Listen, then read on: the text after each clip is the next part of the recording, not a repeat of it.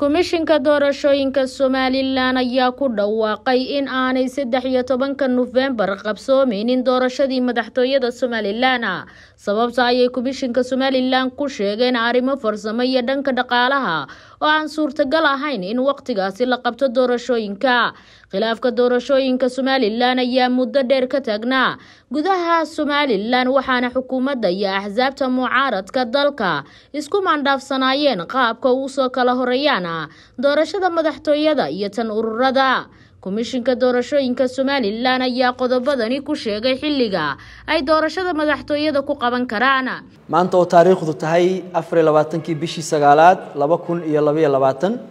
komishinka doorashooyinka qaranku wuxuu la wadaagayaa bulshada reer somalilan xisbiyada qaranka golayaasha qaranka daneeyayaasha arrimaha doorashooyinka iyo beesha caalamkaba warmurtiyeedkan komishinka doorashooyinka qaranku muddadii koobnayd ee uu joogay wuxuu kulamo la yeeshay dhammaan daneeyaasha doorashada madaxtooyada jamhuuriyadda somalilan komishinka doorashooyinka qaranka waxa ay qiimeyn buuxda ku sameeyeen dhammaan arrimaha farsamo iyo dhaqaale ee u baahan yahay ama loo baahan yahay qabsoomidda doorashada madaxtooyada jamhuuriyadda somalilan haddaba maadaama oo komishinka doorashooyinka qaranku u xil saaran yahay maamulidda garsooridda howlaha doorashooyinka qaranka. Sida ku xusan qodobka labaad ee xeerka guud ee doorashooyinka qaranka iyo diiwaangelinta iyo codbixiyaasha xeer number markaanu aragnay qodobka lixaad fiqradda koowaad ee xeerka guud ee doorashooyinka qaranka iyo diiwaangelinta codbixiyaasha xeer number oo commissionku ku waajibinaya inuu cayimo wakhtiga ay qabsoomayaan doorashooyinka kaas oo dhigaya commissionka ayaa cayimaya taariikhda la qabanayo doorasho doorashooyinka si waafaqsan dastuurka iyo xeerka iyagoo ku saleynaya bil ka hor muddaxileedka madaxweynaha iyo madaxweyne ku-xigeenka jamhuuriyadda somalilan markaanu aragnay qodobka saddex iyo afartanaad fiqraddiisa afraad ee xeerka guud ee doorashooyinka iyo diiwaangelinta codbixiyaasha xeer number ninety one twenty twenty oo tilmaamaya in commisshinku dib u furis ku sameynayo diiwaangelinta codbixiyaasha ka hor doorasho kasta.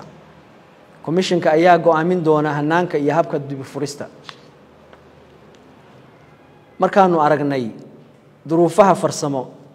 iyo xilliga kala guurka ah ee commishinkan cusubi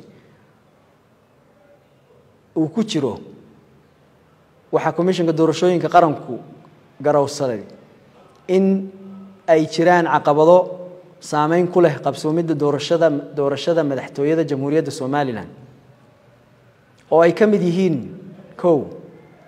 muddada ka hadhay doorashada madaxtooyada jamhuuriyadda somalilan oo aanay suurtagal ahayn in lagu qabto maadaama oo ay ka hadhsan yihiin sagaal iyo afartan maalmood oo keliya. Laba diiwaangelinta codbixiyaasha sida ku cad xeerka guud ee doorashooyinka iyo diiwaangelinta codbixiyaasha xeer number oo dhigaya doorasho kasta ka hor in la sameeyo diiwaangelin. Welina diiwaangelintaa lama samayn. Saddex miisaaniyadda diiwaangelinta iyo doorashooyinka. Waxaa sidoo kale muhiim ah in diiwaangelinta iyo qabsoomidda doorashada madaxtooyadaba la helo miisaaniyad ku filan oo dhammaystiran sidaa daraaddeed komishinka doorashooyinka qaranku wuxuu soo saarayaa go'aamadan. Kow in doorashada madaxtooyada jamhuuriyadda somalilan ee u qorshaysnayd in la qabto saddexiyo tobanka novembar laba kun iyo labaiyo labaatan oo ah bil ka hor dhammaadka muddaxileedka madaxweynaha iyo madaxweyne ku-xigeenka jamhuuriyadda somalilan aanay farsamo ahaan iyo dhaqaale ahaanba qabsoomi karaynin. Laba in komishinka doorashooyinka qaranka jamhuuriyadda somalilan farsame ahaan ku qaban karo doorashada madaxtooyada jamhuuriyadda somalilan muddo sagaal bilood ah oo ka bilaabmaysa kowda oktoobar laba kun iyo labaiyo labaatan. Gebagabadii komishinka doorashooyinka qaranku wuxuu muddadaa sagaalka bilood ah ku diyaarinayaa dhammaan arrimaha farsamo iyo arrimaha dhaqaale ee u baahan yahay ama looga baahan yahay diiwaangelinta codbixiyaasha iyo qabsoomidda doorashada madaxtooyada jamhuuriyadda somalilan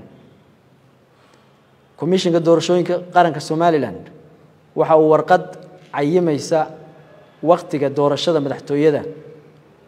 u gudbiyey madaxweynaha jamhuuriyadda somalilan sida uu xeerku dhigayo